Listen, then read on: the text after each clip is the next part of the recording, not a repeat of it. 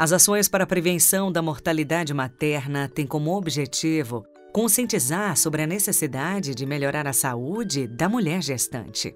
Destaca-se ainda a importância de serviços de saúde qualificados, cuidados pré-natais e pós-parto adequados, e o acesso a planejamento familiar para reduzir as mortes que são, em grande parte, evitáveis.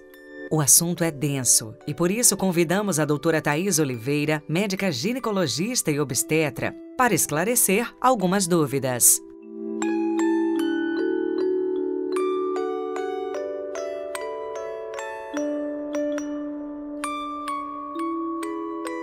Atenção integral ao pré-natal, parto e puerpério. No pré-natal, orientação da paciente com relação à necessidade de manter a periodicidade nas consultas, realização de exames e fazer os tratamentos recomendados, terapêuticos ou preventivos.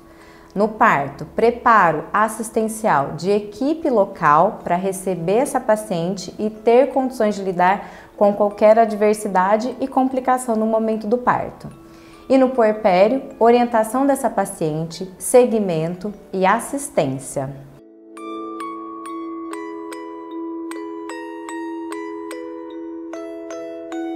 Todas as mulheres grávidas e puérperas devem ter acesso imediato e oportuno durante uma situação de urgência ou emergência.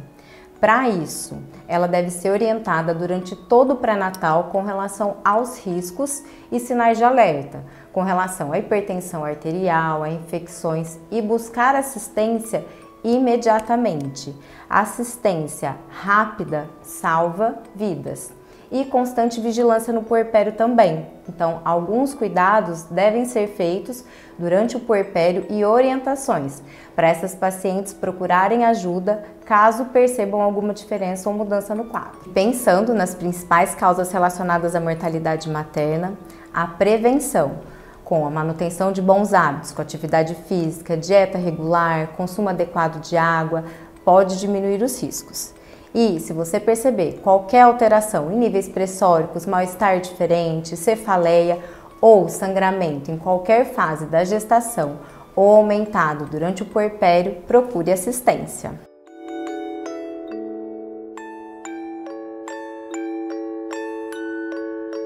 Planejamento familiar serve para orientar e ajudar as famílias que desejam limitar número, o número de filhos, os façam. E para as mulheres que têm risco obstétrico ou alguma comorbidade, é, alguma situação que aumente o risco gestacional, espace as gestações ou mesmo evite engravidar. Muito obrigada!